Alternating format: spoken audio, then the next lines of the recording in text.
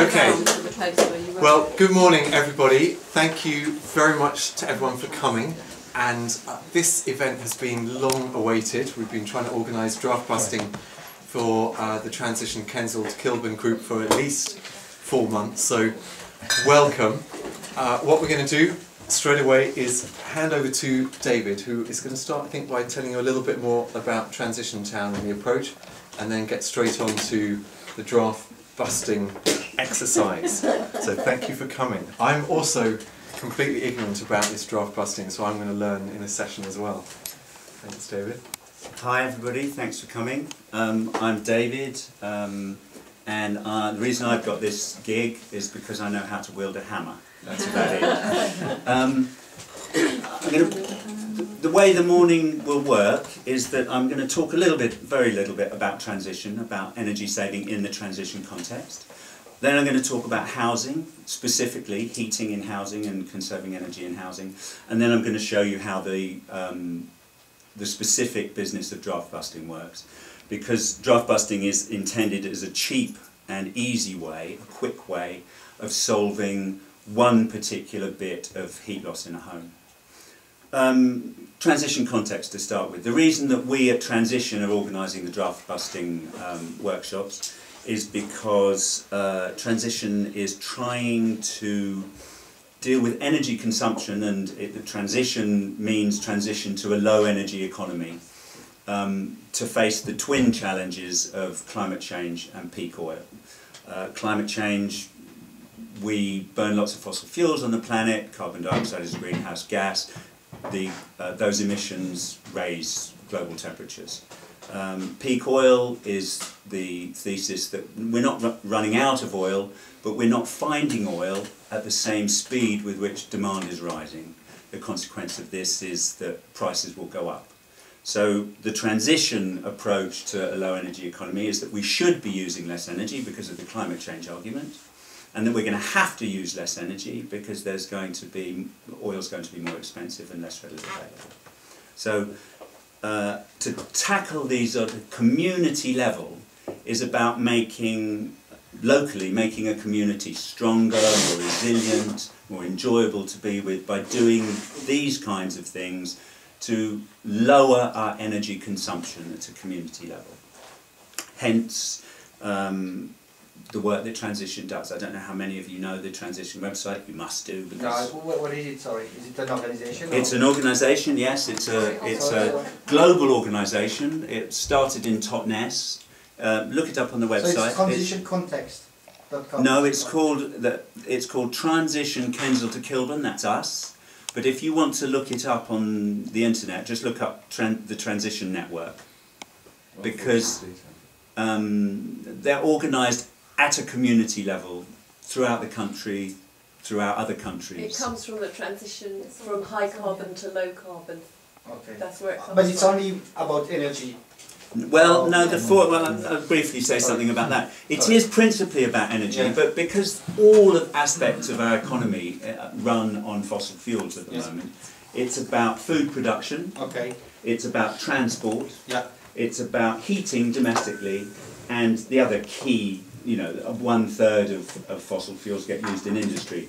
We don't have a huge, we can't really affect industry at a community level other than through our consumption choices. But, you know, most people who think about these things do consume in a particular way because they want to be more green. Okay. Yeah. So that's that. When I call it the transition context, I mean I'm putting energy saving at home into the context of the transition movement. Okay. So, um, home heating. Most of the houses in this country, we have 25 million homes in this country. Um, about 85% of them are still going to be standing in 2050. 2050 is when we've been set national targets for reducing our energy consumption. Five million of those homes are terraced houses. Most terraced houses that we have in this country were built in the Victorian or the Edwardian era the kind of heating that existed at that time was coal in the fireplace. These houses are deliberately leaky. They are leaky because if you had a sealed house and a fire in it, people would asphyxiate. The oxygen gets burned up, you die. So the air is sucked in through the windows on purpose. So now that we no longer have coal fires, we need to address that problem. Um, 20 to 25% of your heat in a home will go out through the, the attic. If you're thinking about um, conserving energy, the first thing you should do is insulate your attic. Most people will have their attics already insulated. You should have 20 to 200, 200 to 250 millimetres of insulating in the attic at least. 250 minutes. Yeah, six inches. Your floor, Sorry, do you just, it's a floor or the, um... this, this, well, it doesn't. It, in fact, it doesn't really matter where you put it. Yeah, You can put it um, across the floor Yeah. and have a void that's uninsulated between the ceiling and the roof. Yeah. But um, nowadays, if you put kingspan in between the joists, kingspan is the, the very thick foam with the aluminium backing. Okay, yeah. That's cut to fit between the rafters, Yeah. and then you put plasterboard across the top of it. I mean, if you've got a converted attic, that's what will have been done. Yeah. Um, that'll deal with t- 20 to 25% of your heat loss in a home. You lose about 15% out through your front door and the back door. And the, most of that you can't do anything about because it's to do with you open the door to go out, heat goes out with you. Um, but you can do the draft busting to the perimeter of the door. I don't know about you, but at my home, my front door, you stand near it, you can feel the cold underneath and around the sides. 15, 10 to 15% goes out the windows. That's what I was referring to as Victorian Edwardian houses having leaky windows on purpose. Um, that can be dealt with in a number of ways. The best way, um, as far as heat efficiency is concerned, is to have your windows double glazed. That's expensive. We are having the downstairs of our house double glazed at the moment because we're redoing our kitchen and the first floor at the back. That's costing us £8,000 to have the windows double glazed. It ain't cheap. Elaine? David, it's just to say, later, we can go and look Yeah, at no, these it's- magna. Absolutely. You- Did I tell you that? There's, um, Okay. Tom mentioned it. There's a sort of interim solution. Nick's done it DIY in his own home. A company called Magna Glaze does it as a um, commercial service, which is that you take a window like this and you, these need to be off, but a, a strip, a magnetic strip goes around this surface, all the way around. And you then have a perspex, because it's not so heavy, um, surface that also has a magnet on it that just clips on. So it's a sort of quick and easy double glazing solution. I'm not sure about the prices of that. You can look them up on the web. Magna Glaze. Um, you put it up in the winter when you have your windows shut. You take it down in the summer when you want to be able to open your windows. It's about fifty pounds for one uh, panel. This size, half Uh, window size, or that, for the whole that thing? size. No, the bigger one would probably be more. Is that Magna Glaze or is that the DIY That's price? Magna Glaze. Right, okay. Well, there you go. You know, 50, 100, 150 for this window, ish. Um, and then the, the cheap option is to simply take the windows that you have and to stop up the where the drafts are coming through, which is what we're going to be discussing a bit later.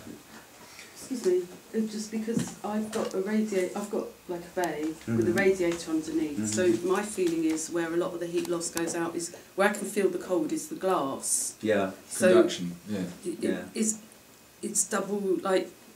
Well, when you just put forgetting the- about price is the double glazing. Particularly, it's like it's coming out of my radiator Sure. and going outside. There's, I, I mean, this is my personal view. I, Mm. I'm not a heating engineer. The idea of putting a radiator by the Mm, window, I've always yeah. thought was stupid. Yeah. Um, because basically you have the impression that you're not cold, Mm. but it's chucking heat Yeah. out. Exactly. Yeah. Um, I, in in our, we have radiators by the window in our house. I just turn those off with the thermostatic valves. I never have them on. Oh, okay. So I don't know, and I think po- it, it, it's mitigated because what happens is that some of the draft, it, you get convection currents which take the heat into the room better rather, rather than the heat staying by the radiator. So you get a better, so you kind of get more Th- That's the principle. inside, yeah. Un- Yeah. Undoubtedly, that's the principle. But it's also true that the heat comes up here. yeah. This is a surface that it can escape from. some of it will. It go, it'll go up like that. But as it goes up, you're going to be losing it out straight through the glass. So in that situation, are you best to have double glazing? Mm.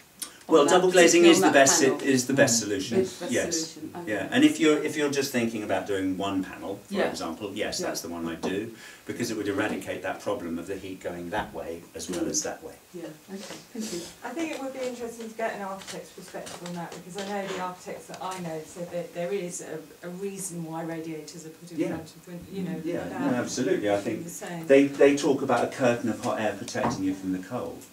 It, it's also common sense that the heat will go out. Mm. It just is. I'm sure it does both jobs. Mm. Um, the other thing is though, uh, what, how about, where do we get our extra air from? If it's completely double glazed? Well, the, the extra air, you don't, I mean, the, the point about the fireplace is your air is being consumed by the fire. If you don't have a fire, it's not being consumed in the same way, and you'll get air coming in through the doors, you come in and out, you, you will never eradicate the, the drafts completely. And if you would rather have a, a steady supply of cool, fresh air through your window than retain your energy, don't put draft busting on. A lot of the Victorian houses have got a, vi- a vent, brick Yeah. vents I've anyway, got- below the floor. Yeah. board I've got level. a That's to Hybrid. stop the damp. I mean, nowadays when they make um, efficiency windows, they'll there'll be a vent at the top. Oh, yeah, yeah. They're kind of a slide vent that you can open it and close it so that you can get a circulation. You'll really notice if you if you don't have a circulation of air in your room, you'll notice because of the condensation. That's the that's what you're trying. In fact, the vents are really about eradicating the condensation because of the damage that it'll do. They're not. It's it's all. It's virtually impossible to make a house so sealed that you're going to be uh, lacking oxygen. Yeah, that's. It's not going to Swiss happen. houses. Yeah. Um, the floor will also lose about 15% of your heating. Hello. This is Magna Glazed Home. Hello. Hello. Next door. Um, if you're on the earth, most houses will have a small basement or a large basement. A basement acts as an insulator. Um, if you if you don't have a basement, then really you need to insulate under the floorboards. Again, that's another expensive What do you use? proposition. The same material as. as You'd the use the Kingspan. You'd use the similar material to the material that you'd use in the And that attic. just goes straight down on the bare soil. Well, usually you'll find that the um, the rafters are on some kind of pillar, and what you'd need to do is put a piece of bit. I mean, this is a builder's job. This, uh, unless you're particularly well versed in DIY, Yeah. you have to take up all the floorboards because that's your only access to it. Um, you'd have to put a piece of bead along each side, lay something, plywood, thin plywood between the beading, and pop it on that. Okay, so there'll be a gap between soil and. Yeah. Yes. Yes, because otherwise your your timbers will rot. Yes. and so people don't put the, the floor joists on the soil. At the back of my house, they're very nearly on the soil, and under the main body of my house, they're about that high off the ground on a Yeah. brick mm. pier. That's the same as. Yeah. The if you've got some space, if you've got that much space, you can get underneath and stuff it upwards. Mm-hmm. It's not a nice job, Not a nice job. but you can, but it can be done. Yeah. You know. Mm. Right. Walls. Walls are the, the hardest thing to deal with. You'll lose 30 to 35% of your heat in a detached house through the wall. Now, the, the most efficient way of insulating that is um, the, the uh, analogy I was heard at a lecture in LSE was you put a tea cosy on a teapot. That's essentially what you're trying to do.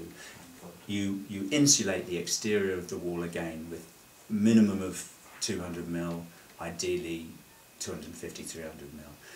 We can, it wouldn't be allowed in our neighbourhood because of the conservation issues, and you can do it inside.